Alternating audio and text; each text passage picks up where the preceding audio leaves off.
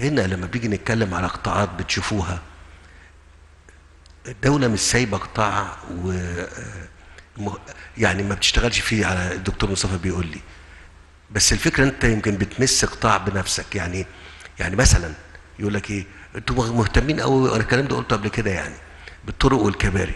يا سيدي أنت بس منك شفت الطرق والكباري منك أنت بتمشي عليها.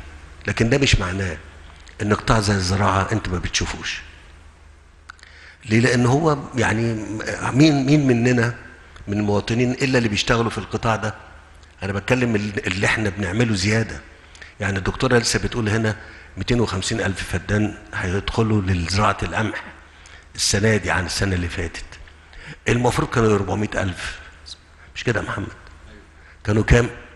400 والسنة الجاية 23 يوصلوا مثلا لمليون لو إحنا نجحنا. لو إحنا نجحنا في اللي إحنا بنعمله.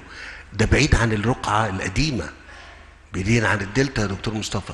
إحنا بنتكلم هنا على الدلتا الدلتا الجديدة وبنتكلم على آه توشكا وشرق العوينات.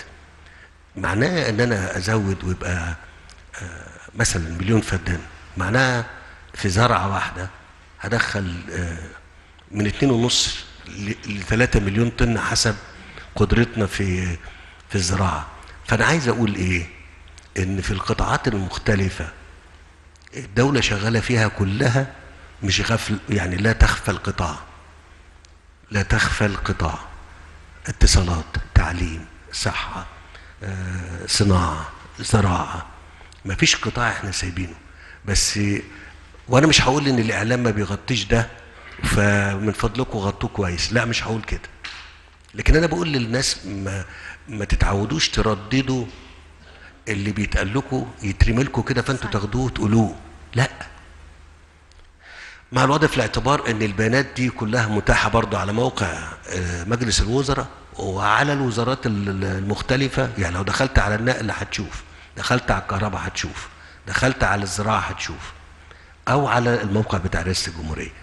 توقفوا كتير قوي على اننا آه، كدولة نوفر مليون فرصة عمل سنويا زيادة عن دلوقتي.